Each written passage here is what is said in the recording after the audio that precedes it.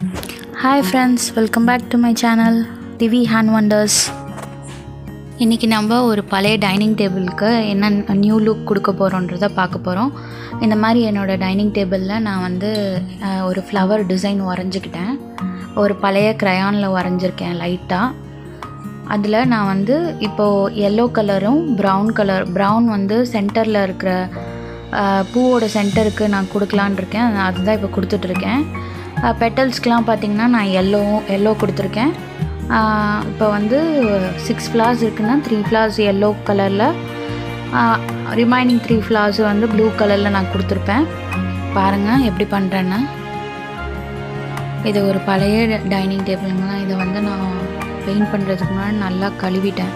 கழுவிட்டு அதுக்கப்புறம் க்ரையான்ஸில் வரைஞ்சிட்டு அதுக்கப்புறம் நான் பெயிண்ட் பெயிண்ட் பண்ணியிருக்கேன்.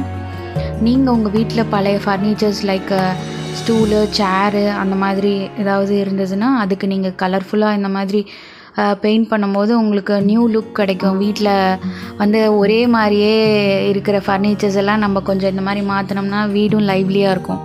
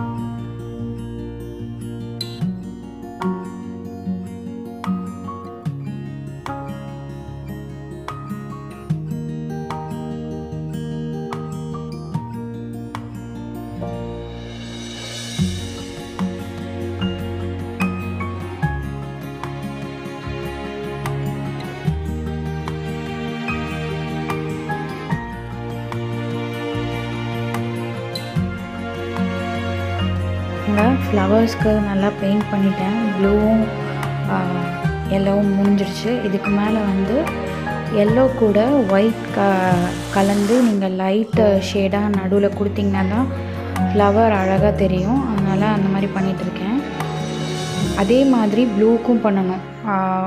ஒரு ட்ராப் வந்து ப்ளூ ஃபோர் ட்ராப்ஸ் வந்து ஒயிட்டுன்ற மாதிரி கலந்து நீங்கள் வந்து நடுவில் இந்த மாதிரி பெயிண்ட் பண்ணிங்கன்னா அழகாக இருக்கும்.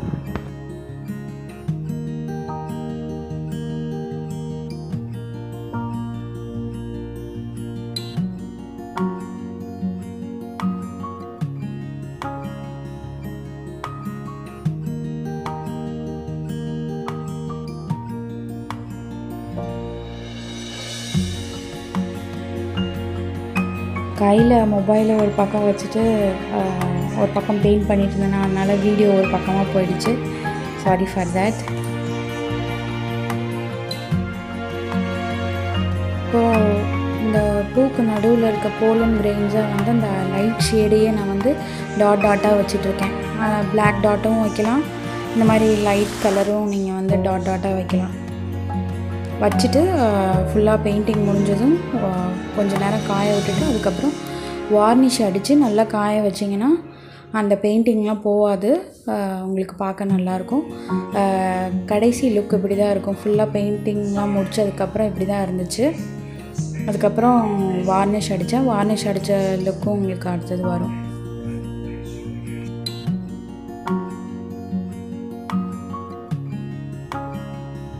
ஆஃப்டர் வார்னிஷ் இப்படி தான் இருந்துச்சு உங்களுக்கு இந்த வீடியோ பிடிச்சிருந்தா லைக் பண்ணுங்கள் ஷேர் பண்ணுங்கள் சப்ஸ்கிரைப் பண்ணுங்கள் நீங்களும் வீட்டில் ட்ரை பண்ணி பார்த்துட்டு கமெண்ட் செக்ஷனில் எனக்கு சொல்லுங்கள் தேங்க்யூ ஃப்ரெண்ட்ஸ் பாய்